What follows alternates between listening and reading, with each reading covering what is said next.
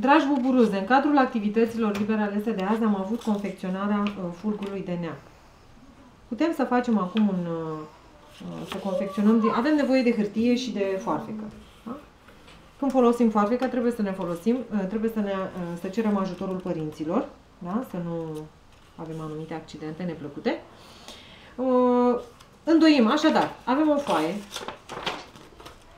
îndoim foaia în două și apoi în patru, ținem de colțul pe care l-am îndoit și unim celelalte două laturi care au mai rămas, mai puțin da?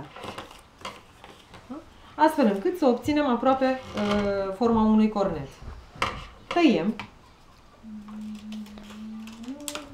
surplusul și am obținut o formă aproape pătrată sau rotundă.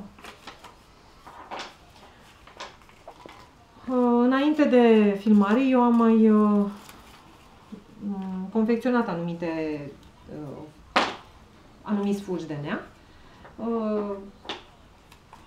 folosindu-mi imaginația din diferite și am obținut anumite forme. Puteți și voi să faceți acest lucru. Încep să tai din margine, da? Din margine încep să tai în formele pe care le vreau.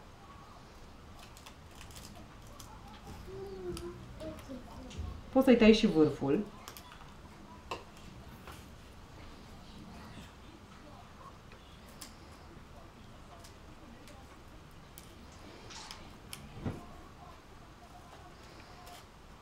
Așa cum am spus, trebuie să cerem ajutorul părinților, da?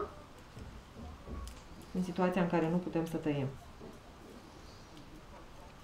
Să nu avem anumite accidente neplăcute.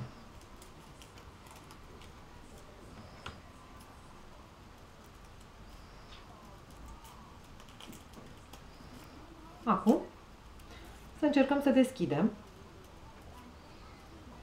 acest uh, full. Să vedem ce s-a obținut.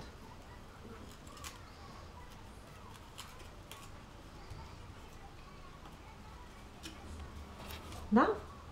Este un fulg destul de frumos. Putem să mai uh, aplicăm anumite motive. Da? De exemplu, putem să tăiem această parte care a mai rămas și să o ornăm. Da?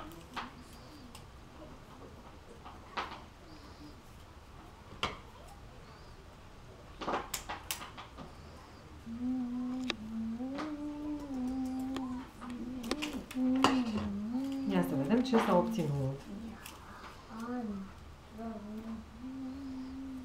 fulcul nostru. Okay. Mama, mama, mama.